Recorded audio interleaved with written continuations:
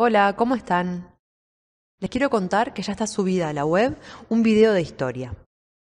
En el video se habla sobre el pasado de Uruguay y cuentan los problemas que existían en aquella época. Por ejemplo, en el campo vivían gauchos e indios, y el gobierno se encontraba en la capital, Montevideo, pero no había vías de tren, por lo que el control y el contacto con el campo eran muy complicados.